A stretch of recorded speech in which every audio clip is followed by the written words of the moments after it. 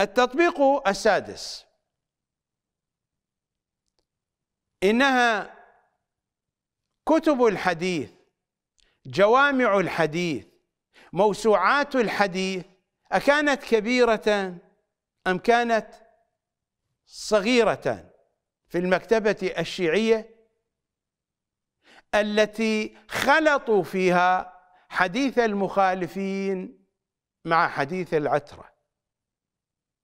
وبوبوها وفهرسوها وفقا لمنهج مخالف لما يريده إمام زماننا. وفي الوقت نفسه الشيعة يرون في تلك الموسوعات عظيم الفائدة على سبيل المثال ميزان الحكمة. موسوعة حديثية. جمع فيها مؤلفها ما بين حديث العترة وحديث نواصب سقيفة بني ساعدة. ميزان الحكمة. هكذا قال عنه مؤلفه. أخلاقي عقائدي اجتماعي سياسي اقتصادي أدبي. لمؤلفه محمد الريشهري من علماء حوزة قم ومن الشخصيات البارزة في الجمهورية الإسلامية الإيرانية. هذه الطبعة طبعة دار الحديث ودار الحديث مؤسسة يشرف عليها محمد الريشهري هي مؤسسته مؤسسته التابعة له. ميزان الحكمة هذا هو الجزء الأول.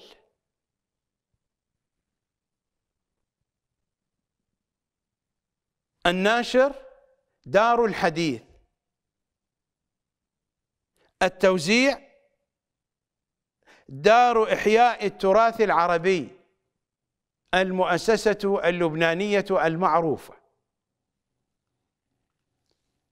آخر جزء من ميزان الحكمة هو الجزء الثاني عشر. إذا ما ذهبنا إلى فهرس المصادر والمنابع فإننا سنجد ثلث المصادر والمنابع بحسب تعدادها وربما أكثر من الثلث من كتب نواصب سقيفة بني ساعدة المشكلة ليس في نقل أحاديث نواصب سقيفة بني ساعدة المشكلة في التبويب والفهرسة وبعد ذلك جمع الحديث في صعيد واحد بمستوى واحد حيث تختلط أحاديث العترة مع أحاديث أعدائهم. خطباء المنبر المؤلفون والذين لا خبرة لهم بمنهج العترة الطاهرة يجدون هذه الموسوعة موسوعة مهمة بالنسبة لهم. لأنها قد بوبت وفهرست بحسب موضوعات كثيرة جدا يحتاجها الخطيب حينما يرتقي المنبر. ويحتاجها الإعلامي حينما يعد برنامجا تلفزيونيا للقنوات الدينية الشيعية. ويحتاجها الذي يكتب مقالا أو موضوعا في صحيفة أو في مجلة أو على المواقع الإلكترونية. أو أو هؤلاء كلهم لا خبرة لهم بحديث العترة ولا خبرة لهم بمنهج العترة ولا خبرة لهم بالتحقيق ويريدون امرا مستسهلا امرا سهلا يسهل الوصول إليه. هذه الموسوعة ميزان الحكمة توفر لهم ذلك. لأن المؤلف صنف الأحاديث بحسب الموضوعات الكثيرة التي تحدثت عنها الأحاديث. وجاء بالآيات القرآنية المناسبة لتلك الموضوعات بحسب فهمه قطعا. فهو يتبنى المنهج الحوزوي الطوسية الذي هو المنهج الشائع في الوسط الشيعي.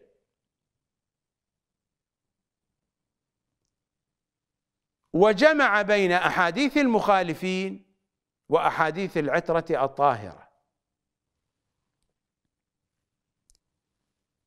هذا جمع وتأليف وتبويب يخالف الذي يريده أئمتنا صلوات الله وسلامه عليهم أجمعين إمامنا الصادق وقد قرأت عليكم الرواية في الحلقة الماضية من الكاف الشريف إنه الجزء الأول من طبعة دار الأسوة طهران إيران في الصفحة الخمسين.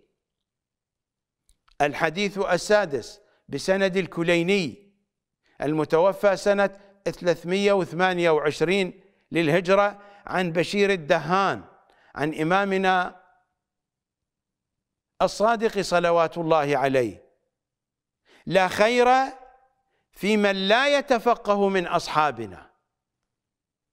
التفقه المعرفة الواسعة. يا بشير إن الرجل منهم من الشيعة. إذا لم يستغني بفقهه احتاج إليهم. فإذا احتاج إليهم أدخلوه في باب ضلالتهم وهو لا يعلم. الريشهري دخل في باب ضلالتهم وهو لا يعلم. وأدخل الشيعة معه. في باب الضلالة هو لا يعلم وهم لا يعلمون. هذا هو الذي جرى على أرض الواقع. هذا الأمر ليس خاصا بهذا الكتاب. هذا الأمر يتوفر في سائر الموسوعات الأخرى التي خلطت بين الحق والباطل بين الهدى والضلال. يفترض بالريشهري إذا كان يريد أن يجمع أحاديث المخالفين أن يضعها في كتاب منفرد. أن تكون تلك الأحاديث في جزء في جزئين من هذه الموسوعة. وأن تبقى أحاديث أهل البيت معزولة نظيفة نقية بعيدة عن قذارات المخالفين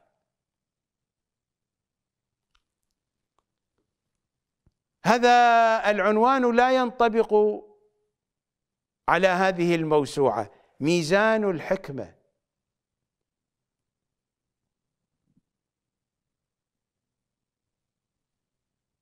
إذا كان هذا الكتاب ميزانا للحكمة الحكمة بنفسها هي ميزان.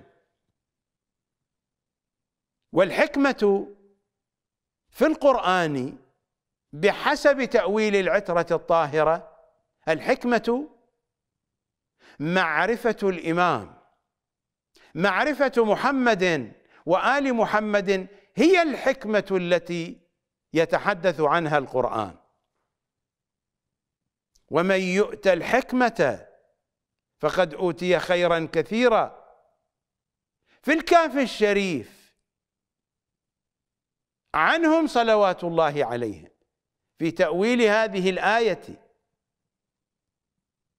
إنها معرفة الإمام معرفة محمد وآل محمد.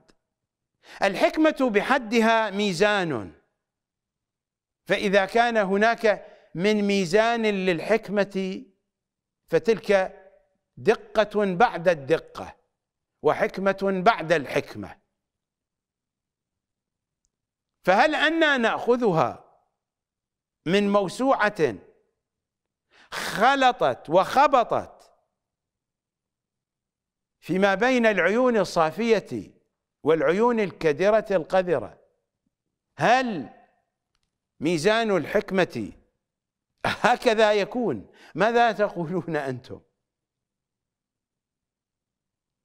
وتذكروا من أن الكتاب هذا من أكثر الكتب في أيامنا تداولا بين خطباء المنبر وبين الإعلاميين في الفضائيات الدينية الشيعية وبين كتاب المقالات والموضوعات في الصحف والمجلات الورقية أو على الإنترنت. وهذا واضح من خلال مصادر ما يكتبون فإنهم ينقلون عن ميزان الحكمة ولا يميزون بين أحاديث العترة وبين أحاديث سقيفة بني ساعدة. الرسالة التي وجهها إمام زماننا إلى الشيعة مضمونها واضح طلب المعارف من غير طريقنا أهل البيت مساوق لإنكارنا. وهذا الكتاب مصداق من مصاديق ما يتحدث عنه إمام زماننا في هذه الرسالة. طلب المعارف من غير طريقنا أهل البيت مساوق لإنكارنا. ليس هناك من مانع أن نجمع أحاديث المخالفين. ليس هناك من مانع أن نكون على اطلاع واسع على أحاديث وكتب المخالفين. ليس هناك من مانع أن نحفظ أحاديثهم. لكن المانع أن نجعلها مصدرا من مصادر معرفتنا. إنني أتحدث عن معرفة ديننا المانع هنا. طلب المعارف من غير طريقنا أهل البيت مساوق لإنكارنا. أما أن نكون على اطلاع بكتبهم بكتب المخالفين وأحاديثهم وماذا يقول علماؤهم؟ هذا أمر حسن جدا. وقد يكون واجبا في بعض الأحيان.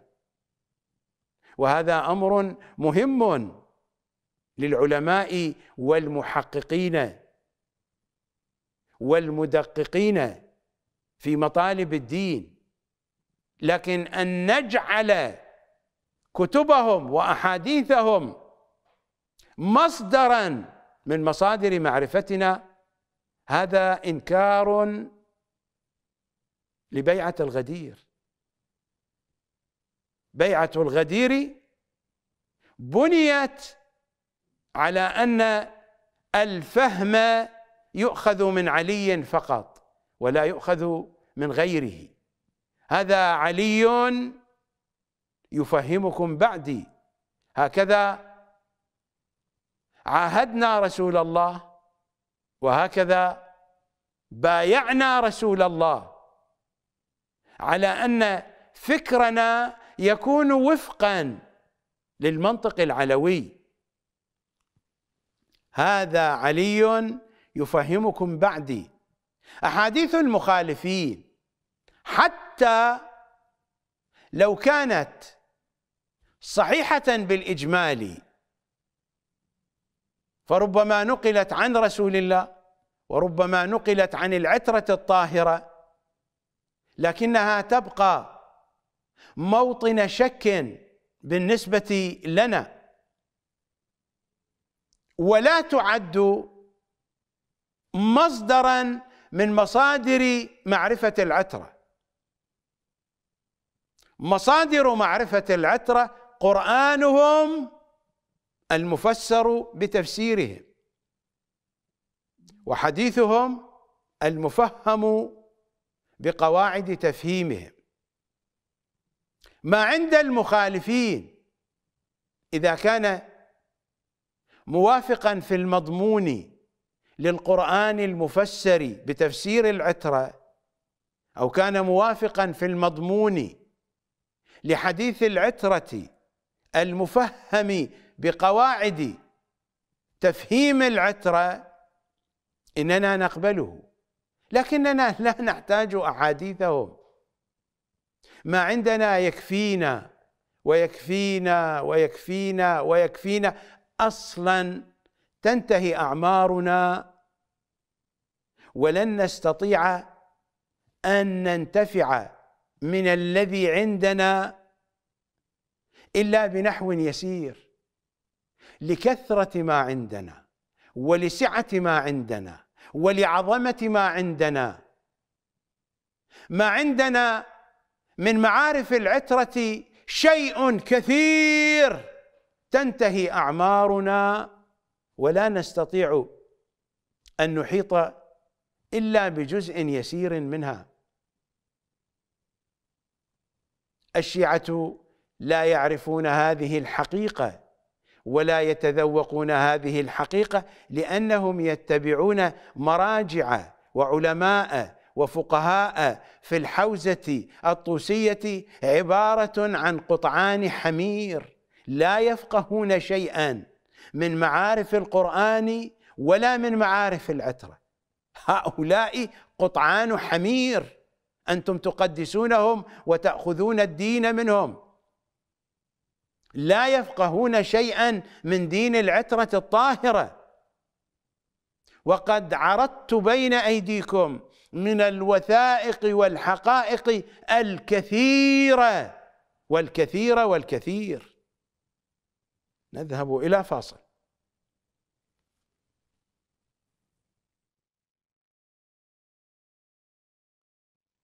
المشكلة الواضحة في هذه الموسوعة في موسوعة ميزان الحكمة ليست خاصة بها قطعا.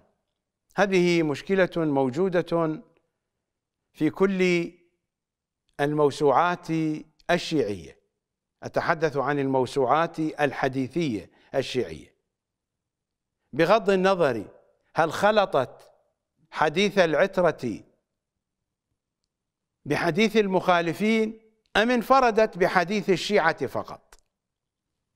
بغض النظر عن هذه المسألة المشكلة الموجودة في هذه الموسوعات المنطق العقائدي الذي تبنى عليه هذه الموسوعات. هذه الموسوعات انعكاس للفكر العقائدي في المذهب الطوسي.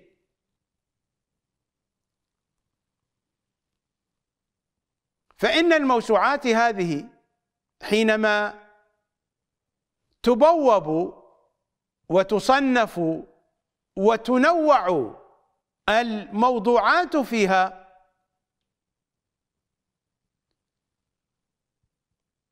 يكون موضوع معرفة الإمام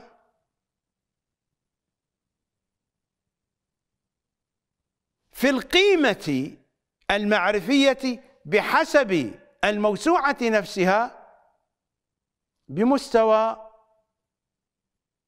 أي موضوع من الموضوعات الأخرى التي قد تكون أخلاقية أو تكون اجتماعية أو تكون سياسية. وهذا في منهج العترة كفر صريح كفر صريح. ومنهج العترة منهج القرآن. في الآية السابعة والستين بعد البسملة من سورة المائدة. يا أيها الرسول بلغ ما أنزل إليك من ربك وإن لم تفعل. فما بلغت رسالته. يفترض في الموسوعات الشيعية أن يكون المنطق العلمي العقائدي الذي على أساسه تبوب الموسوعات الحديثية الشيعية هو هذا. هو هذا.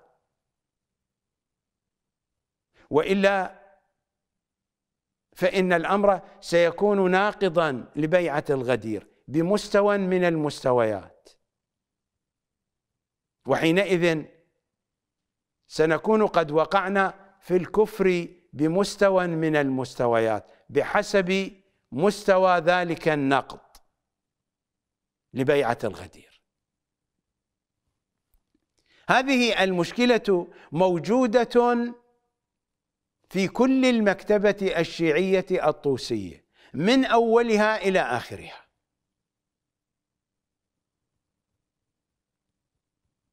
رسول الله يقول لأمير المؤمنين يا علي أنت أصل الدين. والقرآن صريح. وإن لم تفعل فما بلغت رسالته. الرسالة بكل تفاصيلها تساوي صفرا من دون بيعة الغدير. لماذا؟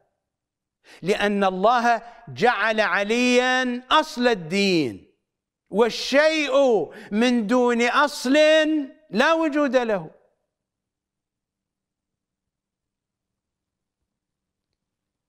كما يقول رسول الله صلى الله عليه وآله لكل شيء أساس وأساس الإسلام حبنا أهل البيت.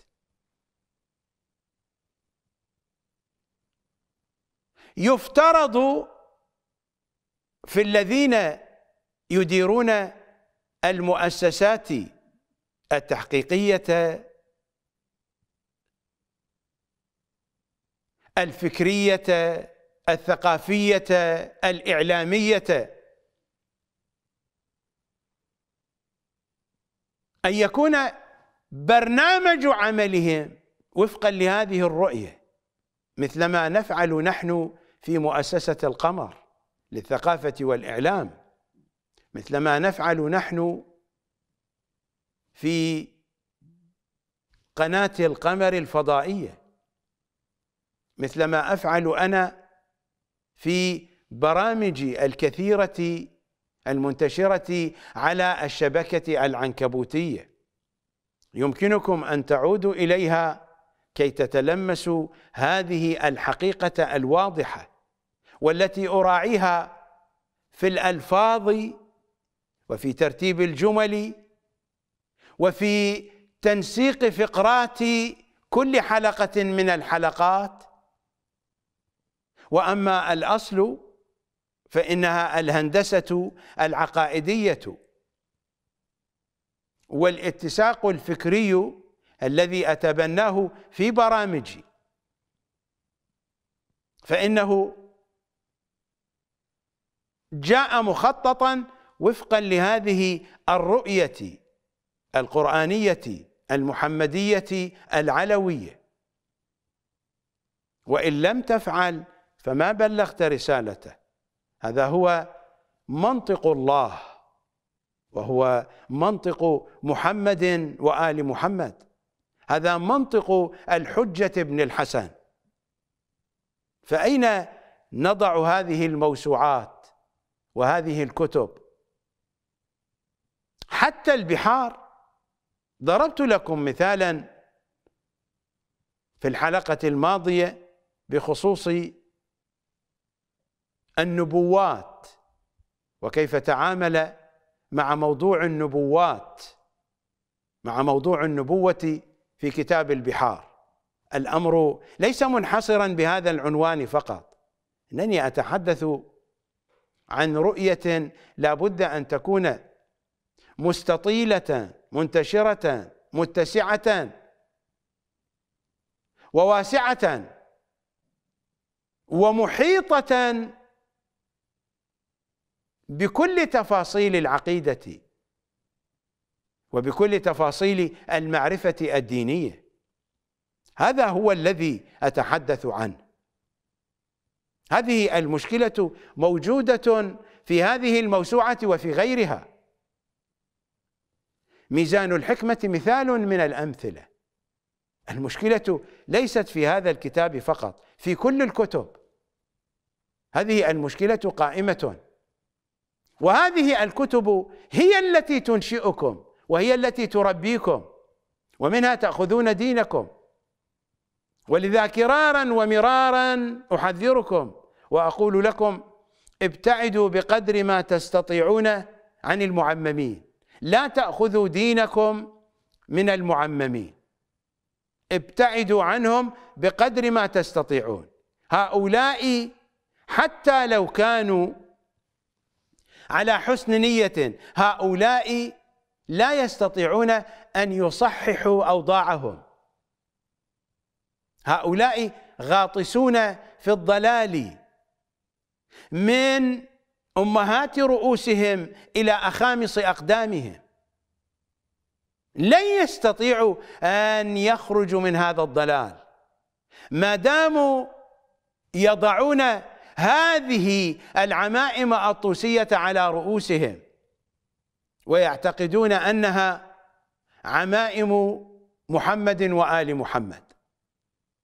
ما داموا يستلمون رواتبهم من المراجع وأبناء المراجع ما داموا يجدون معيشتهم في كنف هؤلاء. ما داموا يواصلون دروسهم وتدريسهم في أجواء الحوزة الطوسية. لن يستطيعوا أن يخرجوا من هذا الضلال. لا شأن لنا بهم. هم أحرار فيما يفعلون بأنفسهم وهم أحرار في تشخيص موقفهم الشرعي. هم مسؤولون عن كل صغيرة وكبيرة كما نحن مسؤولون عن كل صغيرة وكبيرة. هناك يوم سنسأل فيه عن كل صغيرة وكبيرة. أنتم الذين لا شأن لكم بأجواء العمائم وأجواء المرجعيات وأجواء الحوزة وأجواء هذه القمامة اللعينة. أخرجوا أنفسكم من هذه القذارة. ابتعدوا عن المعممين ولا تأخذوا دينكم من أصحاب العمائم. هؤلاء لا يصدر منهم إلا الضلال. إلا إذا ثبت عندكم وبدليل قاطع وواضح أن صاحب عمامة لا علاقة له بضلال المرجعيات والحوزة وبكل ما صنعه الطوسي اللعين. مثال آخر من هذه الموسوعات موسوعة الحديث النبوي عقيدة وشريعة وخلقا هذا المجلد الأول التوحيد مجموعة من المؤلفين. وهذه الطبعة طبعة العتبة الرضوية المقدسة. هذه موسوعة تصل إلى الجزء العاشر. وقد احتوت على كم كبير من الحديث. تسعة وعشرين ألف حديث أو تسعمية وخمسة وسبعين.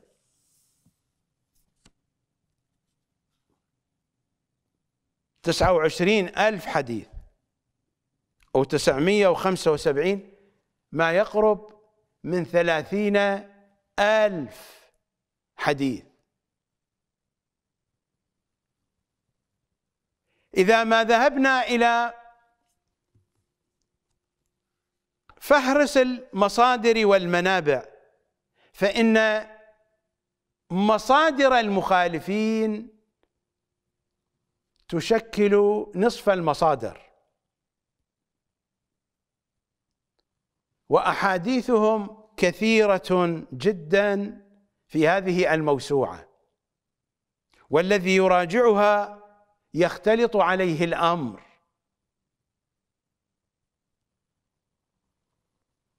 وهناك الكثير من أحاديث المخالفين لا علاقة لرسول الله صلى الله عليه وآله بها.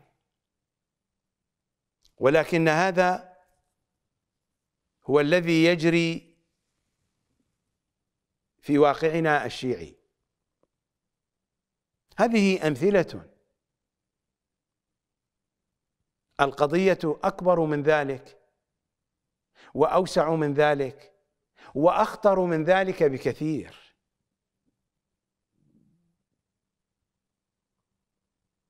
حدثتكم في الحلقة الماضية عما فعلته مؤسسة الإمام المهدي والتي لا نستطيع أن نسيء الظن بها. لكنه الغباء إنه الغباء الديني مشكلة أصحاب العمائم حتى الذين يريدون أن ينشروا حديث أهل البيت يعانون من الغباء الديني. المراد من الغباء الديني انعدام البصيرة. من أين ستأتيهم البصيرة؟ وهم غاطسون في قذارات الطوسي. ويمجدون الطوسي وأمثاله. من أين ستأتي البصيرة؟ وهم يفكرون بمنطق مخالف لمنطق العترة بدرجة مئة بالمئة. إنه منطق عملية الاجتهاد في الأجواء الشيعية منذ زمان الطوسي مرورا بالمحقق الحلي والعلامة الحلي عبر الشهيد الأول والثاني إلى مرتضى الأنصاري وعبر تلامذة مرتضى الأنصاري إلى الخوئي ومدرسة الخوئي اللعينة هذا هو الواقع الذي نحن نعيشه. العلماء الذين يعملون وبإخلاص بحسب ما هم يعتقدون في جمع حديث أهل البيت وتحقيق كتب حديث أهل البيت ونشر حديث أهل البيت يسيئون إلى حديث أهل البيت من حيث هم يتصورون أنهم يحسنون. وهذه النماذج بين أيديكم. في أيامنا هذه في الأيام التي سبقت وفي الأيام القادمة لأن المنهج الطوسي لا زال حاكما ويبدو أنه سيبقى حاكما. فتبقى القمامة على حالها وتبقى الزبالة كما هي. ويبقى الغائط المتعفن متكدسا في هذا الكنيف الذي يقال له حوزة النجف وكربلاء إنها الحوزة الطوسية الخرائية. نذهب إلى فاصل.